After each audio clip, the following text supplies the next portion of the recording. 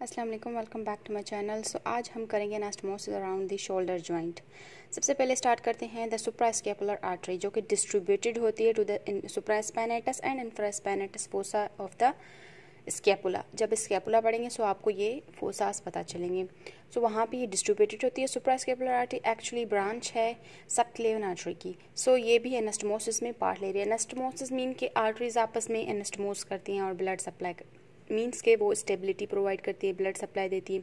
जिससे हमारे shoulder joint movement show करता है। सो वहाँ पे कुछ भी हो सो ये एनास्टमोसिस के थ्रू ब्लड सप्लाई करेंगे। और हमारे पास आ जाता है superficial cervical artery superficial cervical artery जो है वो भी ब्रांच होती है हमारी सब क्लेवन आर्टरी की। ये क्या करती है? Gives off a deep branch ये एक डीप ब्रांच देगी जो कि runs downward to the medial border of the scapula ये जब आप बोन पढ़ेंगे स्केपुला सो वहाँ पे मीडियल लेटरल बॉर्डर ये सारे बॉर्डर्स होते हैं, आप पढ़ेंगे।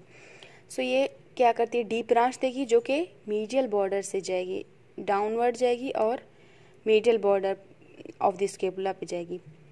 एंड हमारे पास आ जाते हैं सब स्केपुलर आर्टरी सब स्केपुलर आर्टरी मैंने आपको पढ़ाई थी।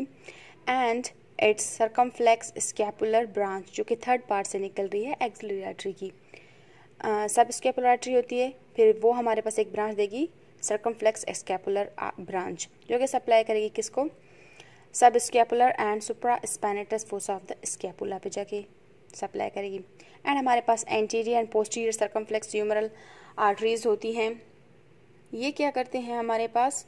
एनास्टोमोसिंग सर्कल बनाते हैं around surgical neck of the humerus humerus पे एक सर्जिकल नेक होता है। जब आप ये बोन पढ़ेंगे तब आपको surgical neck of the humerus पता चलेगा। सो so, वहाँ पे ये एक एनास्टोमोसिंग सर्कल बनाते हैं। अब इससे हम थोड़ा सा डायग्राम की तरह डायग्राम पे डिस्कस करते हैं। सो so, ये हमारे पास डायग्राम है। यहाँ पे आपको दिखाई दे रहा होगा एक मिनट सो so, ये आप देख रहे हैं हमारे पास। सब क्लेवन आर्टरी है। ये ब्रांचेस दे रही है। हमारे पास कौन सी आर्टरी थी? एक पार्ट ले रही है, एक सुप्रास्केपुलर आर्टरी है, जो कि पीछे से ये बैक साइड दिखाया जा रहा है। ठीक है, ये ये जो डॉट डॉट लाइन है बैक साइड से पीछे से जा रही है।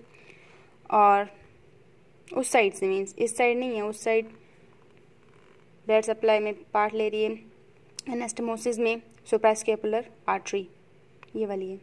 यहाँ से तो जा रही है, लेकिन उस साइड जा रही है। फिर ये जो डॉट डॉट है इट मीन्स कि ये दूसरी साइड है, इस साइड नहीं है।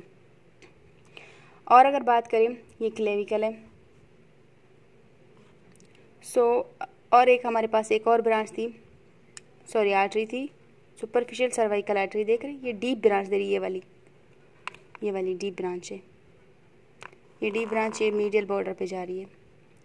और यहाँ से हमारे पास अब आते हैं एक सब स्केपुलर आर्टरी ये है। ये हमारे पास सब स्केपुलर आर्टरी थर्ड पार्ट से राइज हो रही है। ये एक सरकमफ्लेक्स स्केपुलर आर्टरी ये सारे एनास्टमोस कर रहे होते हैं।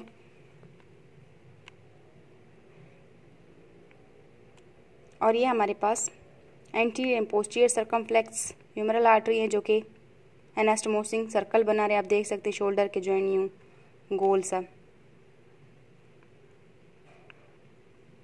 सो ये सारे जो भी हैं ब्रांचेस मैंने आपको बताया, ये सारा मिल के जो है, ये सारे मिल के एनास्टमोसिस में शोल्डर जॉइंट के पार्ट ले रहे हैं, ताकि ब्लड सप्लाई दे सके। कभी भी कोई भी कंप्रेशन हो जाती है ब्लड वेसल्स में सो कोलेटरल ब्रांचेज यहाँ से निकलती हैं और सप्लाई करना स्टार्ट हो जाती हैं। सो ये आपस में एनास्टमोस कर रही होती हैं। अगर इसको आप इस को थोड़ा उल्टा करके देख लें सो आपको वो जो ब्रांचेस जो मैंने आपको बताई थी सो प्राइसकेपुलर आर्टरी ये सारे एनास्टमोसिस दिखाई देंगे। लेकिन यहाँ पे शो नहीं है। सो ये हमारे पास थी anastomosis around the shoulder joint suprascapular artery जो कि जारी है कहाँ पे? Supraspinatus and infraspinatus वो इस साइड पे शो नहीं है। स्केपुला के इस साइड नहीं होती वो उस साइड होती है। सो so, उस साइड अगर आप डायग्राम को यूँ स्केपुला को यूँ करेंगे ना यूँ अभी यूँ पड़ा इसको यूँ करेंगे सो सुप्रा स्पेनेटस होगा इंफ्रा स्पेनेटस होगा। ये जो उस साइड वाला होगा इंफ्रा स्पेनेटस होगा और जो ऊपर वाला होगा वो सुप्रा स्पेनेटस होगा लेकिन इस साइड नहीं वो उस साइड होगा। सो so, वहाँ पे जाके ये और हमारे पास सुपरफिशियल सर्वाइकल आर्टरी होगी सप्लीमेंट की ब्रांच होगी डीप ब्रांच देगी। यहाँ पे जाके मीडियल बॉर्डर पे जाके ये सारे नस्टमोस कर रहे होते हैं। यहाँ से सब स्केपुलर आर्टरी आएगी ये नस्टमोस करेगी। एंड ये सरकम फ्लैक्स स्केपुलर ब्रांच देगी, सारे ये नस्टमोस कर रहे होंगे। और ये सर्जिकल नेक पे means surgical neck of the humerus पे क्या बनाएँगे? एनास्टमोसिंग सर्कल बनाएँगे। हमारे पास anterior and posterior circumflex humeral arteries so ये हमारे पास हो गया एनास्टमोसिस होप आपको समझ आया, ना समझ आया? आप कर सकते हैं क्वेश्चन वगैरह। और आपको जो जो आगे पढ़ना है। फ़िलहाल तो हम आप लिम करेंगे। उसके अलावा जो आपको पढ़ना है, सो आप कमेंट सेक्शन में कमेंट करके मुझे बता सकते हैं कि हमें आगे क्या पढ़ना चाहिए।